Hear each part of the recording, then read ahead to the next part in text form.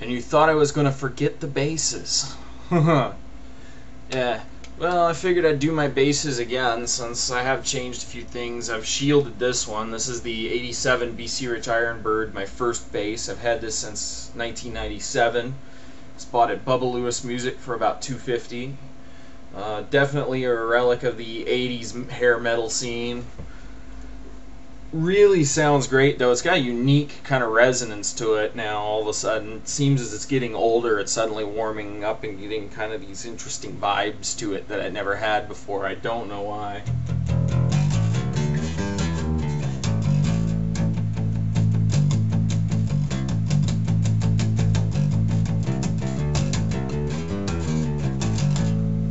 Pretty basic. Uh, it's got a precision bass pickup over here. As you can see, it's got Seymour Duncan Invader pole pieces, one volume, one tone.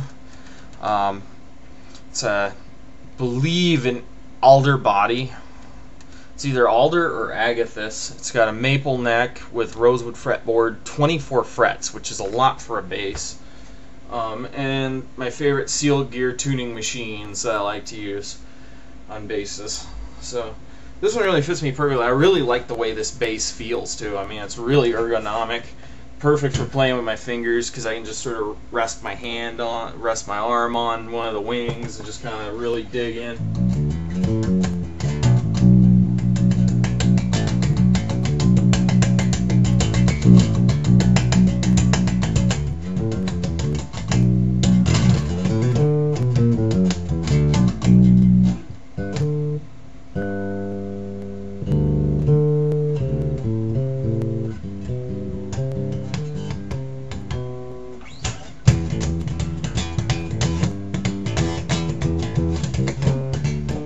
Can't play like Steve Harris.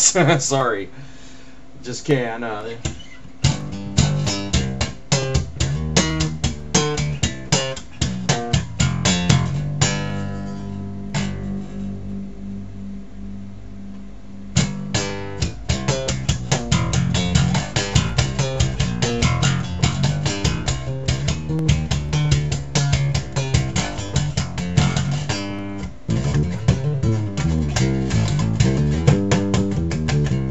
Still got a little bit of fret buzz at the low end. I think it has some neck issues, but for some reason they don't translate to the amplifier. So, you know, and yeah, I'm running this through the Bagheera. I know you're not supposed to run a bass through a guitar amp, but this thing's on one. I mean, what harm is it going to do?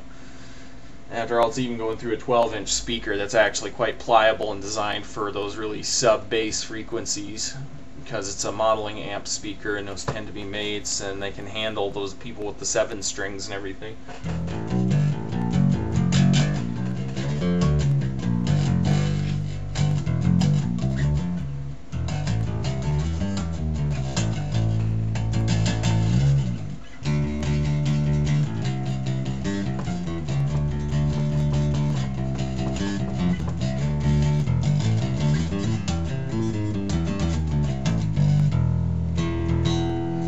It's uh, strung up with really light strings.